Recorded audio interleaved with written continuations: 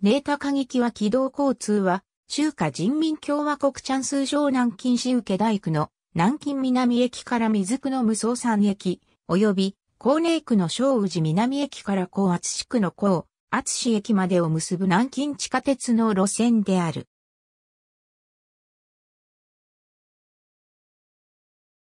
南京都市圏及び、チャンス省の長江沿岸都市を結ぶ、軌道交通網の一部分である。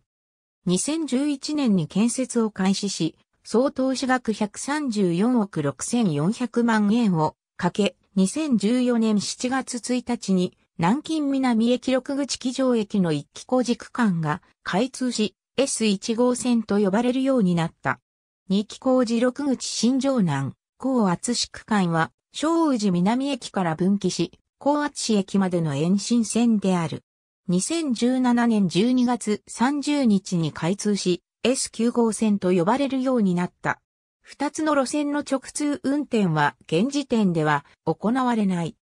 二期工事六口機場水区間は六口機場駅からさらに延伸し、無双山駅までの延伸線である。